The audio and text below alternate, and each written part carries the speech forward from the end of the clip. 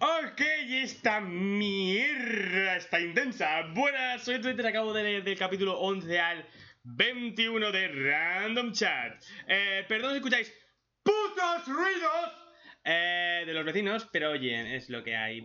Porque son los hijos de... Mejor me callo. Son los hijos de puta que llevan desde las 9 de la mañana y son las 6 de la tarde, ¿vale? Y porque no me quiero ir a la cárcel, que si no subo les parto el cuello, pero bueno, es lo que tiene. Eh, como siempre, si queréis mirar haciendo otros capítulos, tenéis algo de información en la descripción, ya sabéis cómo va. Eh, ¡Qué puta maravilla! En serio, de puto wow, o sea, wow. He dicho capítulo 11-21, sí, comisiones sí, sí, sí, vale, entonces ahí. O literalmente el acosador no es un profesor, aunque tiene que es un universitario.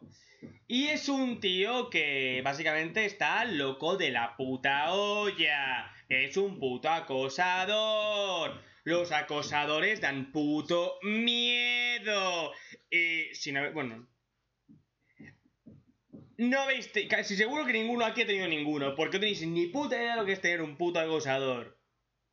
Da igual si eres chica, chico, si es chico, chica, ¿vale? Un acosador da puto miedo. Da puto miedo. Y aquí puedes ver por qué da puto miedo. Porque es alguien que está puto mal de la jodida cabeza. ¿Y cómo está alguien mal de la puta jodida cabeza? Creyéndose que sus actos son siempre justificados. Aunque literalmente se contradigan. Y este pavo, pues le parte la... aparte las caras de puto miedo, pero bueno. El tío intenta engañarle con que no, era yo, en realidad era la chica y bla bla bla bla bla, pero al final básicamente eh, le rompe el móvil para que así no pueda rastrearla. Muy inteligente, porque no sabía su número de memoria. Lo cual es un poco extraño ahí, pero bueno. Le rompe el móvil y entonces el, acosador le empieza a partir la boca con un ladrillo. Y dice lo del ladrillo es en defensa propia y tal, porque tú, oh, el móvil... Y al final lo destroza. Lo deja hecho mierdas. Me encanta como el pavo, aún así, el tío ya le vacila en la cara. Es como que me va a partir la boca, me, va a gustar, ¿no? Y entonces aparece una chica, la que falta de coletas, ¿no? Y le salva. Eh, y parece que se conocen de algo. Pero bueno, no sabemos aún nada, ¿no? Y la tía se va indignada porque no lo reconoce. Eh, normal que no reconozca todo esto, pero bueno, voy a entrar ahí. Eh, ok. Sácame todo el color del pelo, hija de puta. eh, y bueno. Eh, ¿Qué pasa después de esto? Es que ya estoy en el, estoy flashback ahora. Es, es que eh, después de esto tenemos... Oh, sí, al, a nuestro campeón. Eh, parece que la chica ya hace el primer paso de querer conocer al pavo. Porque este va a ser el gran evento. Cuando la Sunjano, o como se llame, la waifu principal, ¿no? Quiera conocer al pavo. Pero bueno. Eh, vemos cómo se va recuperando, hace un par de troleos, capítulos un poco de relleno para amenuzar un poco la cena, ¿no? Vemos como la gamer se preocupa por el tío, como que la gamer y el prota ya son coleguillas, ¿vale? De verdad. Y también dice que se ha enamorado de Suwan. Aunque ahora dice que el tío es amor lo que tiene, ¿vale? Aunque no es amor. Pero bueno, es más amor lo que siente por la gamer, pero bueno, ya se dará cuenta de esto, espero. Ok. Eh, y bueno, troleos por aquí, troleos por allá. Y tenemos una escena de nuestro querido delegado de clase. En el cual el acosador de alguna forma recupera su móvil.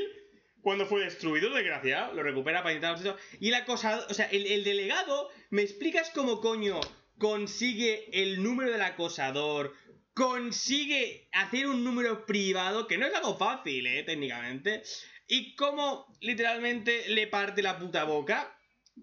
Me encanta literalmente lo realista que es el, el, delegado, ¿vale? Porque el delegado se da cuenta de que es el acosador. Un acosador es alguien que no piensa con coherencia, ¿vale? Está enfuscado en lo suyo. Así que dice una frase que es enmarcable. ¿Te crees que no sientes dolor? ¿Te crees que tienes razón? Voy a enseñarte lo que es tener miedo. ¡Oh my god! Se me ha puesto duro la polla que flipas con esa frase. Joder con el delegado. Pero bueno, aparte el delegado también defiende al pavo del bully. El bully se pone mucho más en serio con el pavo, intentando joderle, ¿no?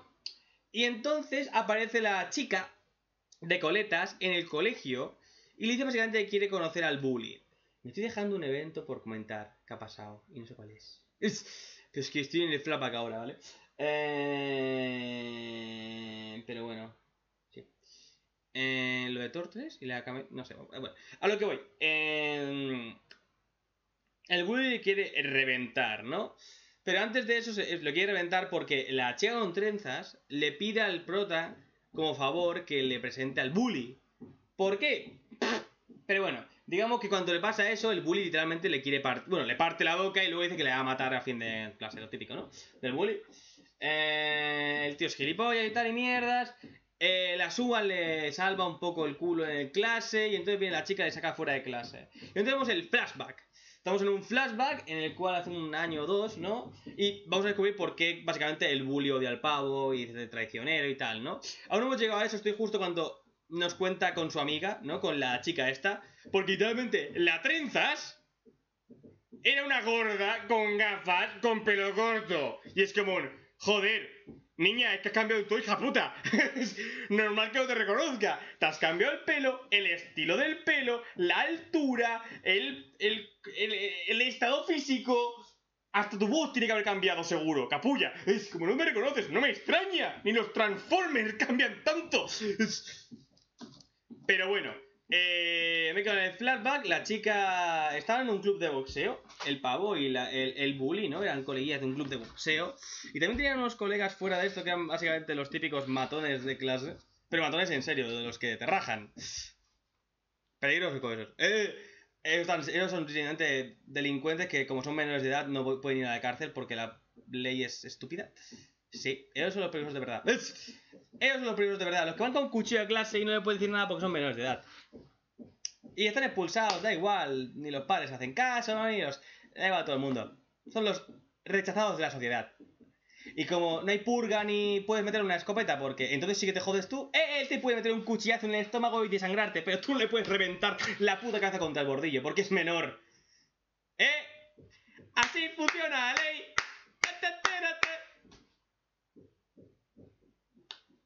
Sociedad. Pero bueno. Eh, ¿Por dónde iba? Ah, sí. Si queréis mirar antes, abajo la información.